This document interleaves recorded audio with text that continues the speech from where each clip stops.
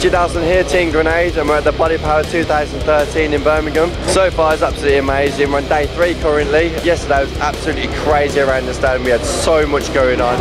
One of the best things I love about doing the Birmingham show is the fact that I get to meet all the people that follow me on the Facebook and the Twitters and stuff. So they get to come up to me and ask me about my training, they ask me about my nutrition, what sort of things I've been doing, anything new that I've been trying to get involved in, and where I'm basically progressing on onto. So, um, like I said, with September coming up, we've got the UKBFF um, Birmingham Nationals. Um, I'm going to be taking part in the men's physique category for my first year, so very excited about that. I've got a Team Grenade, Jamie Alderson, being my prep coach for me, so uh, I'm in good hands. Hopefully coming in looking pretty full, really conditioned, and uh, hopefully start my uh, career as competing in the men's physique category. Training wise at the moment, I do uh, two days on, one active rest day and then another two days on and two days off. I tie it all in, I try and keep every, all, all my routines quite varied and like slightly different.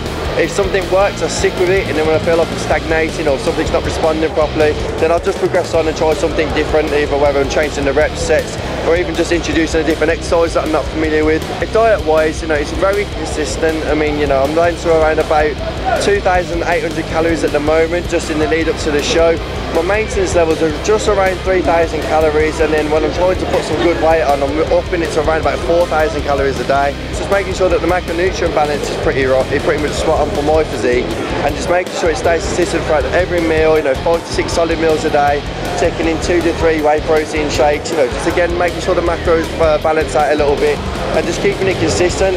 Supplementation wise, it's, it's kind of a must for me personally, because I feel like it covers all the areas. I mean, obviously you get a lot of the nutrition from your food and a lot of the essentials from your food, but there's just some things that supplements just help you get that extra edge with and just basically fill out the whole training part and, and make sure all your nutrition side of things comes together. My very first competition I'm going to be doing this in September.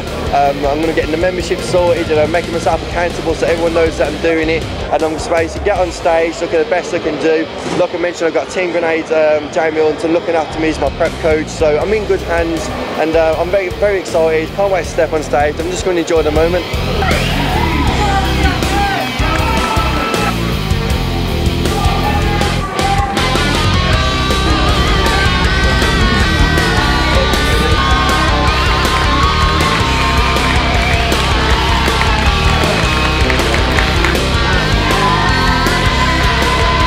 Right guys, so that's four months ago. We're here at the Mr. Olympia Expo in Las Vegas.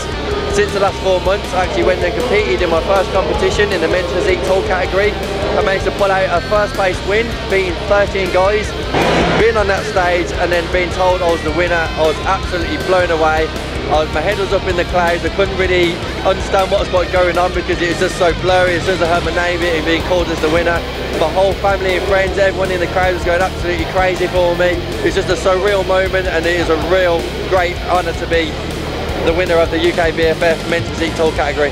So like I said, we're here at Las Vegas in the Olympia Expo. I'm helping man the booth, you know, getting all the products out there, making sure everyone knows who Grenade is and what Grenade does and how it works. I was really enjoying the moment. It's a beautiful city, a beautiful place, and you can't want to be anywhere else. In the next three weeks, we've got the British Finals, the 19th of October. Um, I'm going to be getting ready for that now. So like I said, I've got three weeks to go. I'm here in Las Vegas, trying my hardest to keep my diet as crispy clean as I can. It's a lot of hard temptation around here with the quality food and the you know amazing things you can get. Um, but like I said, I'm going to stay focused, stay focused on trying to get a first place win in the British finals. Um, I've got a one week maintenance when I get back just to try and manage myself out, correct any errors I might have uh, picked up along the way uh, out here in Las Vegas. Like I said, I'm going to do my final prep week and hopefully bring a nice fuller, drier, crisper package to the States.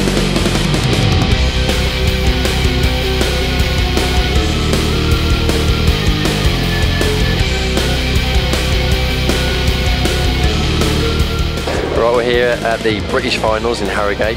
Um, like I said, it's getting really busy at the moment. I'm getting a little bit anxious. I just want to get on stage, get it, get the ball rolling. Um, I'm very excited. I feel like I've done everything I can do at this moment. I mean, I've got Jamie Alderson as my prep coach, so I know I've been in great hands all the way.